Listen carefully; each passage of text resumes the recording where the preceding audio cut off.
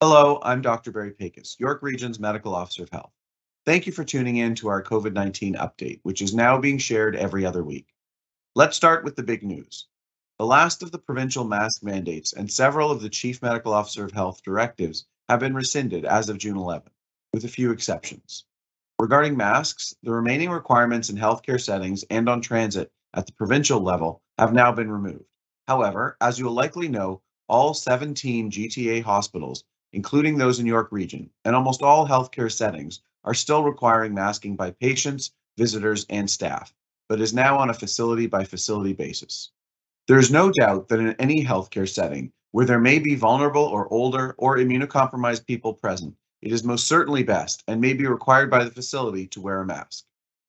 Regarding transit, while York Region Transit and the TTC, among others, will no longer require masking on vehicles and property, for your safety and peace of mind, as well as the safety and peace of mind of others in the community, I would still strongly recommend you wear a mask in all transit settings. Our YRT mobility on request services will still require masking, similar to the requirements of TTC Wheel-Trans.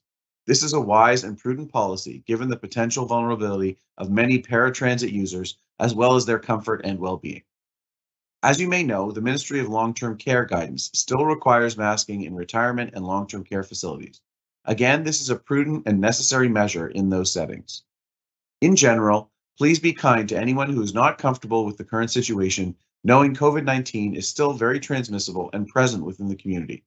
I still encourage you to always have a mask with you in case you're faced with the three C's, confined spaces, crowds, or in close contact with someone, especially if they are vulnerable or immunocompromised. Now to our overall COVID-19 status report. Our wastewater findings in York Region continue to be modestly positive, showing a decrease in our Western Vaughan sewer shed and stabilization in our Central York Region sewer shed. Overall, in Ontario, levels seen in wastewater, particularly in the GTA, are at a lower but stable level and are not continuing to decrease rapidly. Hospital admissions in York Region are about half what they were a month ago, which is great, but they are still persistently high and stable, meaning they're not meaningfully decreasing at this time. In Ontario, overall, hospitalizations are about a third of what they were at the six wave peak in early May, but they too are persistently high and stable at over 500 admitted patients. Unfortunately, the acute care system is far from pre pandemic care levels, with a significant backlog of cases and ongoing healthcare worker capacity challenges. We are looking forward to a summer that will likely look very similar to pre COVID times for most of us, but in the public health and healthcare world, and for the many, many York Region residents who need those services, things will still not be normal.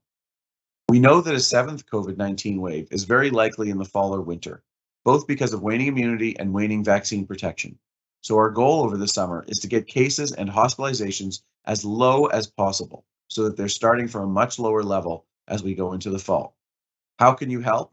You can get vaccinated, and you can help communicate this to friends, relatives, and others. We know that the COVID 19 vaccine is a three dose vaccine for almost everyone.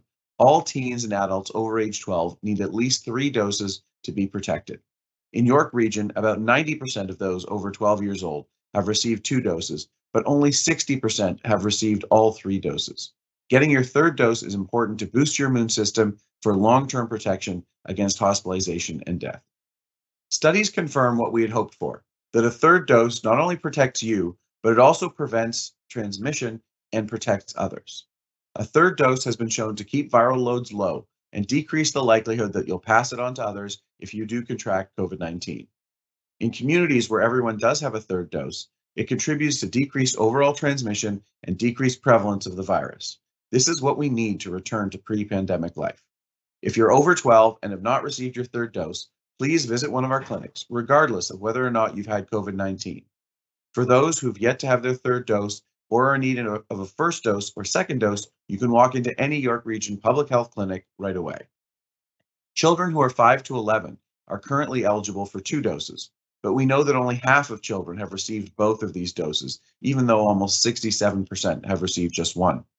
While COVID 19 illness is generally mild in 5 to 11 year olds, many have become ill and required hospitalization, and some have experienced long COVID symptoms despite a mild initial illness. Any children that are in this 5 to 11 age group who have only one dose, please get, come get your second dose right away. preliminary data from our colleagues at the Institute for Clinical Evaluative Sciences here in Ontario have shown that one dose only provides a very modest protection from Omicron, but the two dose almost quadruples this protection. Please come in for your first and second dose before you go to camp and certainly before you go back to school in the fall. A third dose for those 5 to 11 is now available in the United States and will likely be coming to us here in Canada shortly. We're also looking forward to the authorization of the COVID 19 vaccine for age six months to five years, and this is expected sometime during the summer. Also in the summer, closer to the fall, there will be a bivalent Moderna vaccine that provides improved protection against Omicron. Finally, if you're over 60, there's very strong evidence that no matter how good you feel, your immune system doesn't sustain a strong and ongoing immune response to the vaccines as those who are younger. So you do need a fourth dose. The good news is that you can now walk in and receive a vaccine without an appointment or with one if you prefer. You can find a clinic near you at york.ca slash COVID-19 vaccine, or you can call Access York at 1-877-464-9675. A fourth dose is particularly important for those who are older and more vulnerable at higher risk. Looking forward to the summer, vacations, and long weekends ahead, we hope to all be gathering outdoors and feel comfortable seeing our loved ones. I encourage you to do so, as socializing certainly has mental health and wellness benefits. However, please remember that COVID 19 remains a very real concern, and if you're showing any symptoms, it's best to remain home so you don't transmit COVID 19 or any other virus to others. Stay safe, enjoy the weather, and get vaccinated if you haven't already.